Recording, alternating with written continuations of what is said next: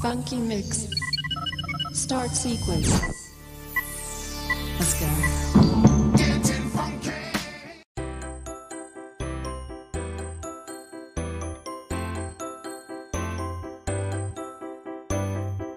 This is the Eyoyo 15 inch LED monitor. It's pretty sweet. The bottom of this just screws on. Pretty simple. A little hard to see, but you have all your ports under here. You have multiple ways of hooking this up. So you got HDMI, you got your VGA, you got your RCA, you have your USB port and your video report or audio and then you have your your other port there this does come with a few accessories so it comes with your VGA cable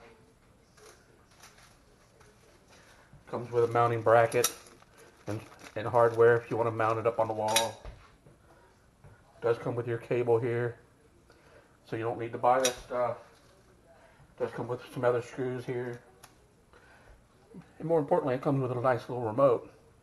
So you can turn this on. You see the lights changing there. Comes on. Right now I have this hooked up to my cable box. Because I'm thinking about putting it, leaving it here in the TV. Or in the, the TV in the, having a TV in the kitchen. So you can see that picture. It's pretty nice.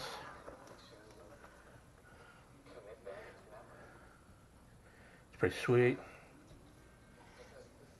So I'm gonna hook this up and plug my portable Windows 10 stick into it. See, I got my Windows 10 stick right here.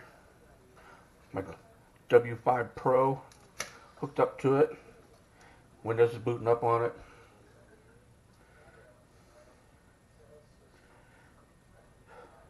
I did realize after trying to swap these cables out there's not a lot of room back here with this stand in the way.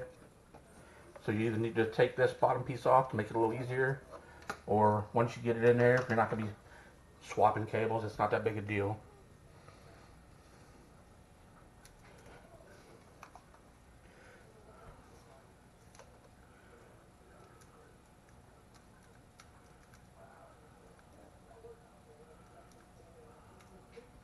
You see Windows 10 works perfect on here.